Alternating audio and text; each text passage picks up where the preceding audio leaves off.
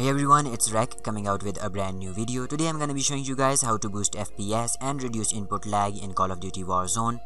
I'm gonna be showing you guys how to optimize Windows as well as the game itself to find the perfect balance between visual quality and FPS. So make sure you guys watch all of the steps inside of this video. If this video ends up helping you guys, be sure to leave a like down below and if you guys wanna keep up with the new content, be sure to hit the subscription button along with the notification bell to get notified instantly when I upload a new video. So yeah guys, without any further ado, let's dive straight into the video. So yeah guys, starting off with the video, first up we are gonna make sure that our Windows is up to date. If you guys didn't know, new Windows updates will help you guys boost FPS and they come with new bug fixes that are gonna help you guys fix most of the stutters and a lot of lag spikes. So yeah guys, go down to your start menu and click on this gear icon. Then go to update and security and then click on check for updates. So if you guys find any updates go ahead and install them. And if you guys have any optional updates right here go ahead and install those as well. And then restart your PC and then you can continue along with the guide. Then go back to home and click on gaming. For the game bar make sure it's turned off unless you record with game bar which I really don't recommend. And then go ahead and go to game mode for the game mode make sure it's turned on if you're using any Windows version above 1903 but if you're using any Windows version below 1903, I recommend turning it off. You can check that by going to start menu and typing WinVer and then clicking on it. For me, as you guys can see, I am running on the version 1909. So I'm just gonna go ahead and turn it on. Then go back to home again and this time click on privacy. For the general tab, make sure everything is toggled off and then scroll all the way down to find background apps. And then make sure that it's toggled off as well. Don't worry guys it will not affect any of these apps. It will just restrict them from running in the background when you are not using them which will reduce a lot of CPU and GPU usage allowing you guys to get more FPS and also reducing the input lag. So yeah guys after that you can just close out of it Next up guys, we are gonna be creating a restore point. Creating a restore point is very important guys because if for any reason these changes don't work out for you guys or you are not happy with the results, you can revert all of these changes easily with a few clicks. So go down to your start menu and search create and then click on create a restore point. Then go ahead and click on the drive where your Windows is installed and then click on configure. Make sure that turn on system protection is checked and for the max usage set it anywhere between 1 to 5%. I like it at 4% then click on apply, ok and then click on the drive again and this time click on create. You can name it anything as long as you remember it. For me I'm just gonna name it Reknotic and then click on create. So yeah guys once the restore point is created just click on close and hit ok. Next up guys, we are gonna be optimizing our drives to make sure that we are getting the best loading times possible, also reducing any stutters or input delay caused by slower drives. So go down to your start menu and search this PC and then click on it. Then right click on the drive where your Windows is installed and click on properties. The first thing we are gonna be doing here is running the disk cleanup, so click on it. And then go ahead and click on OK then click on delete files. Don't worry guys these are all temporary files which windows no longer requires. So it's completely safe to delete those. Then go to tools and click on check. Then click on scan drive. This is going to scan our drives for any errors and if it finds any of the errors it, it will automatically fix all of those. It might take some time depending on the speed of your PC so just go ahead and let it run. So yeah guys once the scan is complete then click on close and click on optimize. For this tab right here guys go ahead and optimize your hard disk drives. Make sure you do not optimize any of the solid state drives only optimize the hard disk drives. I'm just gonna skip it for the sake of the video but it's highly recommended that you guys go ahead and optimize any of your hard disk drives then click on close, click on ok and we can close out of this. Okay so yeah guys moving on to the next tab go down to your start menu again and search this PC then right click on it and click on properties. Then click on advanced system settings. Click on settings. And then make sure to click on adjust for best performance.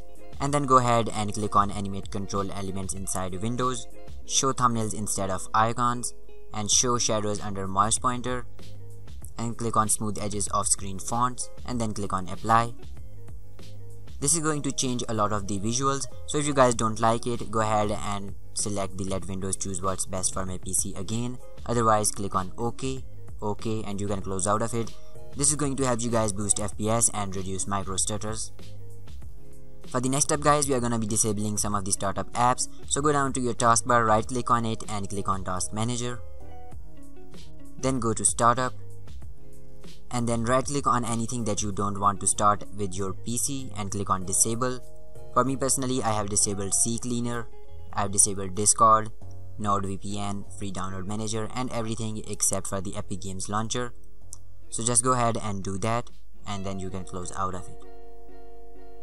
Next up guys we are gonna be creating a, an ultimate power plan for our PC which is gonna allow our PC to run at its maximum potential, giving us more FPS as well as reducing any lag spikes or any stutters. So go down to your start menu and search for CMD. Right click on it, run it as administrator. Then click on yes. And once this window opens up, go down into the description and copy this command from the description which starts with power CFG, paste it inside here and then press enter. After that you can close out of it. And then go down to your start menu again and search power. Click on edit power plan, go to power options. And then click on this little arrow right here and now you can see the ultimate performance. Just click on it and you can close out of it.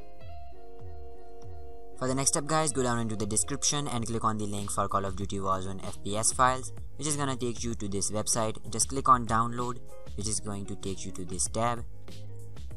Just go ahead and wait for 5 seconds and then you can click on download now and it will start downloading. So once you have downloaded it you will need WinRAR to extract it. So right click on it and click on extract here then go ahead and open up this folder inside here you will find two files ISLC and registry file optimizations. First go into the registry file optimizations and use all of these registry files. Don't worry guys, if for any reason you want to revert them, you can do so by using all of these. These are the default registry files. So go ahead and use all of these.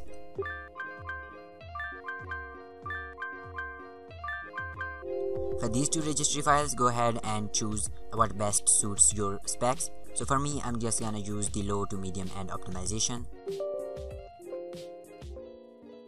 Then go back into the folder and go to the ISLC and then double click on this intelligent standby list cleaner ISLC. Then you can close out of this and then double click on this little heartbeat monitor in the taskbar. Click on stop if it's already started. Then go ahead and use 1024 in the list size is at least type 1024 and for the free memory is lower than make sure to use half of this number. This is your total ram size so we are going to be using half of that. For me i have 8 gigs of ram so i'm just using the 4 gigs. And then for the wanted timer resolution just go ahead and set it to 0.50 and then press delete to get rid of the zeros. After it this is the built-in time resolution which is gonna help you guys reduce input lag by a great amount.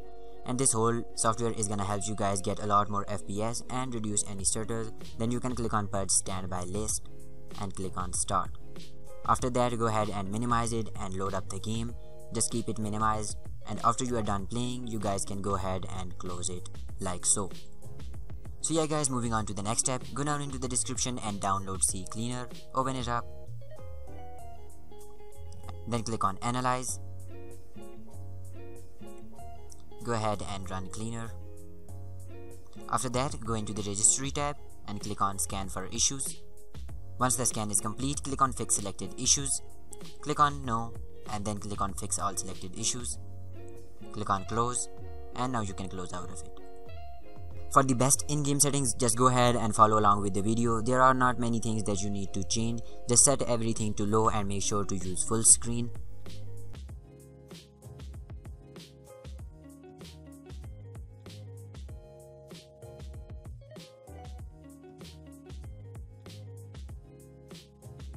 So yeah guys that's it for this video. If this video helped you guys be sure to leave a like down below and subscribe to the channel for future content. By the way guys don't forget to join our discord server. We are trying to make a gaming community right here and there are a lot of people who will help you guys if you guys have any issues or any problems. I will personally help you guys as well. So just go ahead and join the discord server. Link will be in the description. So yeah guys I will see you guys in the next one. Until then stay awesome.